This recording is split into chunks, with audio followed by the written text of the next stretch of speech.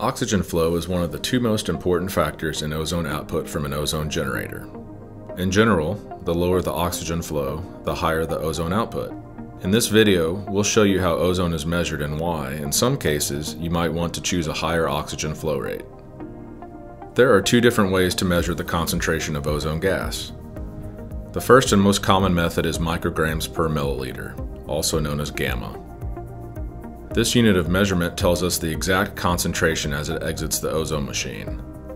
This is important because it lets us know how much ozone we are being exposed to. Therapies such as ozone insufflations or intravenous ozone require this form of measurement. The oxygen flow rate is necessary information with this form of measurement. As you lower the oxygen flow, the ozone concentration will increase because the oxygen has more time to be exposed to the ozone creation process. As you increase the oxygen flow, the ozone concentration will decrease because the oxygen moves through the process faster, therefore creating less total ozone. When the oxygen has more contact time inside the ozone production cell, more of that oxygen is converted to ozone. So, you get higher ozone outputs with lower flows of oxygen.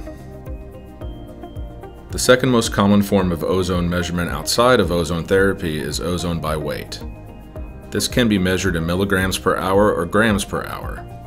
Think of ozone gas as a particle. The higher the ozone concentration, the greater the number of particles. As you lower the concentration, you get fewer and fewer particles.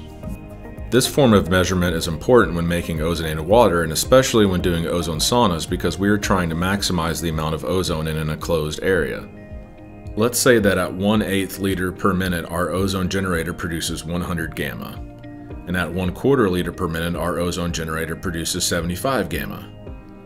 Thinking of gamma as particles, then at 100 gamma, we are producing 100 particles of ozone, and at 75 gamma, we are producing 75 particles of ozone. Why is this important? It's all about the flow rate and particle production.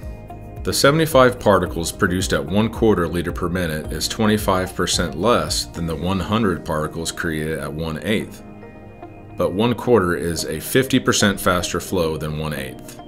This means at the 1 quarter flow rate, those 75 particles are being generated in half the time as the 100 produced at 1 eighth.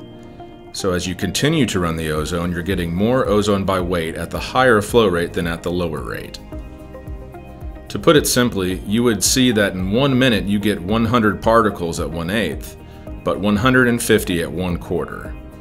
When measuring ozone by weight, the higher flow rate is the fastest way to introduce more ozone into a sauna or ozonated water. If you're concerned about getting as much ozone in these cases as you can, raising your flow rate may be the right answer. Thanks for watching this video. For more information on ozone, you can visit www.promolife.com ozone. You can also check us out on Facebook and Instagram.